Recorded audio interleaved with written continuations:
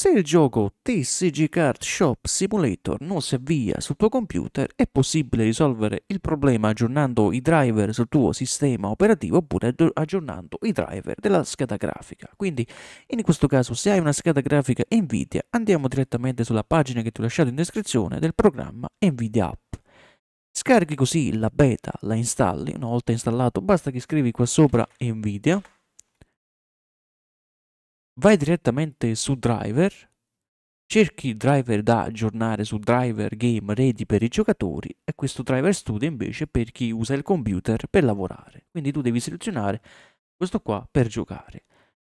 Clicchiamoci sopra per vedere se ci sono aggiornamenti e l'ultimo aggiornamento che ho fatto è del primo di ottobre 2024. Quindi aggiornare sempre la scheda grafica aiuta a mantenere sempre i giochi attivi e senza nessun problema.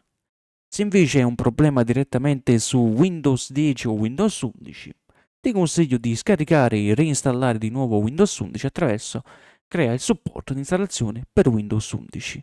Scarichi, installi e ti dirà anche di mantenere tutti i tuoi file. Quindi tu mantieni i tuoi file e riscarica, quindi reinstalla di nuovo Windows 11 oppure semplicemente tasto destro su Start, Gestione dispositivi. Scendi fino giù fino a trovare schede video. La tua scheda video aggiorna driver, cerca i driver nel computer, scegli da un elenco di driver disponibili. Selezioni così la prima, fai avanti, scarichi e installi così il driver. Se non dovesse bastare, tasto destro sul gioco, mostra tue opzioni, proprietà, compatibilità disabilita ottimizzazioni schermo intero, esegui questo programma. Questo programma come amministratore. Facciamo applica e facciamo ok. Se invece ci sono alcuni errori tipo file danneggiati sul tuo sistema, è possibile risolvere il problema scrivendo qua sopra cmd, apri così il prompt dei comandi come amministratore e facciamo sì scrivi qua sopra sfc spazio slash scanno, il comando che ti aiuterà a ripristinare i file danneggiati sul sistema e fai invio. Mentre fa l'analisi, andiamo un attimo a scaricare e installare un altro software che si chiama DirectX Runtime Download, questo qua web install DirectX and User Runtime. Scarichiamo e installiamo così questo supporto per le schede grafiche per il DirectX 11, 9 e 10.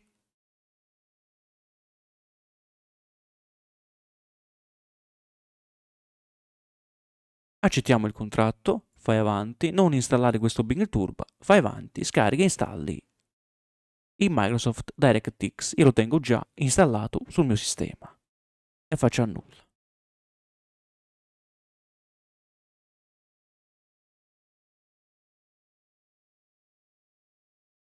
Un altro link che ti ho lasciato in descrizione è il Microsoft Visual C++ ed eccolo qua.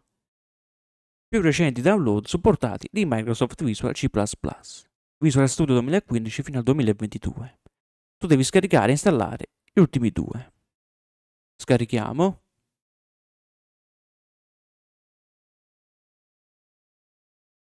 Installo tutti e due a me dice di fare il ripristino perché li tengo già installati sul sistema.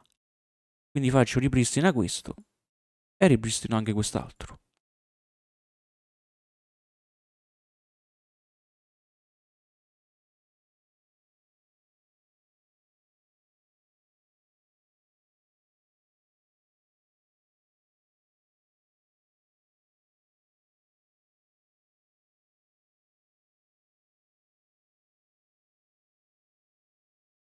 Una volta installato o ripristinato così il software, fai chiudi e facciamo chiudi anche questo.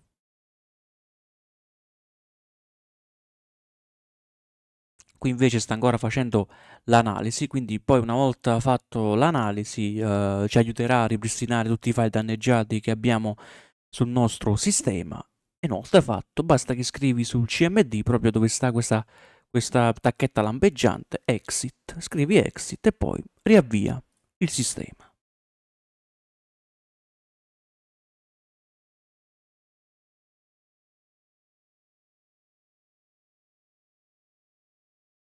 file danneggiati trovati e ripristinati. Come ho detto, exit qua. E prova ad avviare il gioco. Per altri problemi ancora puoi commentare sotto al video e noi ragazzi ci vediamo ad un prossimo tutorial. Ciao!